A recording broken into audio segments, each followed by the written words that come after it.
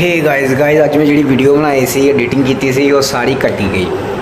ਤੇ ਸਿਰਫ ਦੋ ਵੀਡੀਓਜ਼ ਬਟੀਆਂ ਛੋਟੀਆਂ ਛੋਟੀਆਂ ਜਿਹੀਆਂ ਕਲਿੱਪਿੰਗ ਤੇ ਉਹੀ ਅੱਜ ਮੈਂ ਛੇੜ ਦਾਂਗਾ। ਤੁਸੀਂ ਉਹੀ ਇੰਜੋਏ ਕਰ ਲਿਓ ਤੇ ਬਾਕੀ ਜਿਹੜੀ ਸਵੇਰ ਦੀ ਜਿੰਨੀ ਸ਼ੂਟ ਕੀਤੀ ਸੀ ਨਾ ਸਾਰੀ ਵੀਡੀਓ ਉਹ ਸਾਰੀ ਡਿਲੀਟ ਹੋ ਗਈ। ਤੇ ਸਾਈਕਲ ਵਾਲੀ ਬਣਾਈ ਸੀ ਤੇ ਮੈਂ ਉਹ ਸਾਰੀ ਡਿਲੀਟ ਹੋ ਗਈ।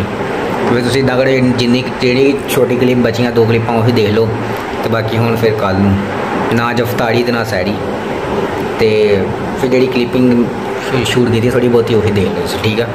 ਤੇ ਇੰਜੋਏ ਕਰੋ ਯਾਰ, ਫਿਰ ਵਲੌਗ ਨੂੰ ਲਾਈਕ ਕਰੋ ਸ਼ੇਅਰ ਕਰੋ ਕਮੈਂਟ ਕਰੋ ਤੇ ਮਿਲਦੇ ਨੈਕਸਟ ਵੀਡੀਓ ਸਵੇਰ ਨੂੰ ਤੇ ਸਵੇਰ ਨੂੰ ਇਨਸ਼ਾਅੱਲਾ ਦੁਬਾਰਾ ਵਲੌਗ ਬਣਾਵਾਂਗੇ। ਹੁਣ ਜਿਹੜਾ ਅੱਜ ਹੈਗਾ ਜਿੰਨਾ, ਇੱਕ ਦੋ ਮਿੰਟ ਦਾ ਉਹੀ ਸਿੱਟ ਦਾਂਗਾ, ਠੀਕ ਹੈ ਮੈਂ? ਫਿਰ ਬਾਏ